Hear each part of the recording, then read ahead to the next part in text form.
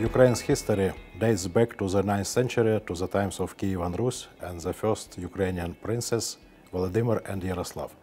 But we celebrate our Independence Day on August 24th because that day, in 1991, Ukraine declared its independence after the collapse of the Soviet Union. There are many public events such as musical fests, concerts, parties in every city, even in every small village in Ukraine that day. Whenever Ukrainians live in Ukraine or abroad, they put their national dresses on and enjoy great time with their families and friends. All streets are decorated with uh, national Ukrainian colors, blue and yellow, which stand for blue Ukrainian sky and yellow fields with a rich harvest. Every year, military parades take part in our capital, Kiev, and this year as well, March of Ukrainian Defenders will be organized.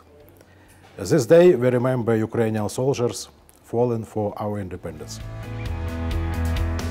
I am going to celebrate the Independence Day with my colleagues, with my friends, and with my countrymen who live here in Limburg province. Ukraine is famous for its cuisine. I will try to cook something special like grilled meat with potatoes and traditional Ukrainian vareniki. It's very difficult to explain.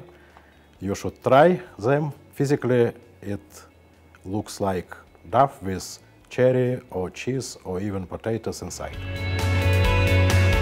If you meet Ukrainians that day, you should say з Днем Незалежності, Слава Україні. It means Happy Independence Day, Glory Ukraine.